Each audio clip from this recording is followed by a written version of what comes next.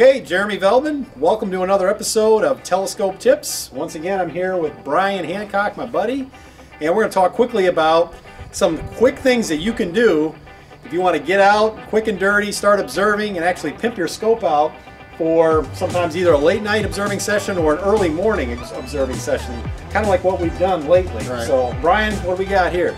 So um, I don't know if it's possible, but if you are as lazy as I am, um, after you work all day, you get home, and um, and the stars are out or the planets are out, or you get up really early in the morning and you want to get a 10 or 15 minute session in before work. If you think about lugging a big, heavy telescope out the door, well, it's kind of daunting, Yeah. and uh, and you know the very thought of picking up such a a heavy piece of equipment in the morning or after work uh, may uh, leave you without observing. So what I've done is I've added wheels to the base of this Dobsonian. And uh, what I'll do is I'll, I'll show you how I get it in and out the door. I've got a ramp, uh, three quarter inch plywood, and, and it's usually a little bit easier than that, but roll it down. You just roll it down. Now, luckily, this uh, scope maintains collimation really well. So, actually, it's uh, maybe about every week I have to collimate it. Um, but uh, your scope may vary. That may be enough motion to uh, cause you to have to recollimate. So that's uh, the first thing I do is I added wheels to the base so that I can wheel it in and out. Now these wheels, these these are actually casters, and um, and you can lock them. So once you find a place um, and you want to observe, you can um, you can lock them in place and then it'll stay. But uh, maybe if uh, the house or the truck is blocking your view and uh, you want to take it somewhere else, well, you can just unlock it and uh, roll it to the next spot.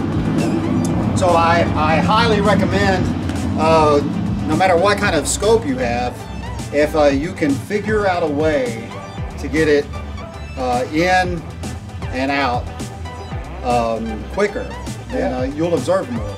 You can wake up maybe an hour before the sun comes up, early morning before you go to work. The moon's Right. out, some of the planets are out. You can be in and out in what, like 30 seconds. Oh yeah, yeah, yeah. This is uh, and this is basically one trip. I, I have everything that I need. I can just wheel it out the door. Got the eyepiece, I've got the finder, and I've got the Telrad. You keep everything on here. You keep the I keep everything on here. Telrad on here. Right. Keep the eyepiece on there. Again, this is a 10 inch Dob, right? This is a 12 inch. Well, this is a 12 inch. Okay. Yeah. So you guys have seen my 20 inch. We talked about that in a previous episode. Brian's got a 10 inch Dob. And again, you know, these Dobsonians are, they're basically big light buckets. yeah. So wait, it's 12 inches. You keep trying to 12 tell I me short. No, no, 12 inches. I'm sorry. This is Yeah. a 12 inch Dobsonian.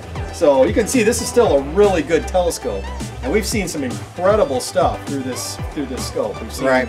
you know, the banding structure on, on Jupiter, as well as the red spot, the, the moons, the rings of Saturn, including the Cassini division. You know, we've really this Brian really kills it with this particular scope. So, you know, this is all you need really to Right. to um, to do a lot of great observing. And uh, I'll just mention a couple other things as far as um, pimping out your scope, just making observing a little bit easier. Uh, if you observe in a neighborhood like I do, uh, one problem you may have is ambient light. Now in the in the winter, I take care of that with an observing hood, but this gets really hot in the summer, and um, and not only am I lazy, for some reason I'm lazy and I sweat a lot as if I'm working. So in the summer, this doesn't work.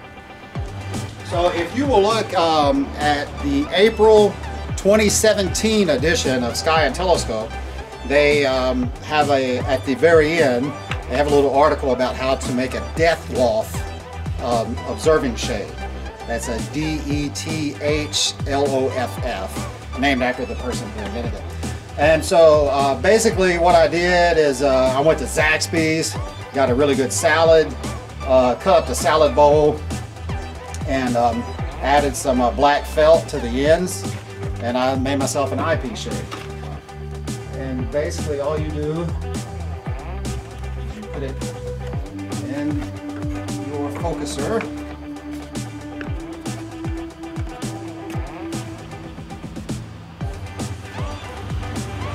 and so the cool thing about this is when you're observing, this will block any ambient light from the eyepiece. What's extra cool about it is a lot of times you'll find that uh, observing with one eye it, it, kind of puts some strain. It's, it, you know, after you do it for a couple of minutes, it's kind of uncomfortable. What I've found is that with the Dethloff mask, you can open the eye that you're not observing with, and uh, all you see is black, and uh, and so you don't get a double image, um, and you, you still just see what's in the eyepiece, and um, so you, you can open your eye for a little bit, let it have some rest, and close it. So I highly recommend making a Dethloff mask to uh, further pimp out your scope. And again, this protects your night vision, Right. So that you don't have to squint all the time, and kind of wears out your your eye when you have one eye open all the time. Right, and uh, if you want, um, you can use this in conjunction with the the uh, Dethloff uh, observing shade. If you uh, put this over your non-observing eye, it will further blacken, you know, the, blacken out the image, and you'll only see what's in the eyepiece. Yeah. And then you can leave this eye open under, underneath the eye patch. Outstanding. Well, there you go. 12 inch Dobsonian, completely pimped out, including not only the Telrad and the viewfinder, but now the Dethloff mask. And this is something you can do yourself. You know, go to Zaxby's, get a salad, keep the salad bowl, Right. and there you go. And this is uh, another great tip for how to protect your night vision and another way to just kind of get through a long observing night without making your life easier. Actually, I do have one confession though. I just realized this wasn't a Zaxby salad. This was a, uh big chocolate cake from Kroger. Oh, okay. Big So, chocolate cake yeah. from Pro. Even better yet. Right. Absolutely. Well, thanks a lot, Brian. Again, guys, I want to remind you that the Memphis Astronomical Society meets once a month, every Friday, first Friday, at Christian Brothers University at Assisi Hall, room 155. Our meetings start at 8 o'clock, and we also host two dark sky observing sessions when it's clear at a site in northwest Mississippi. If you'd like to learn more, visit our website, memphisastro.org.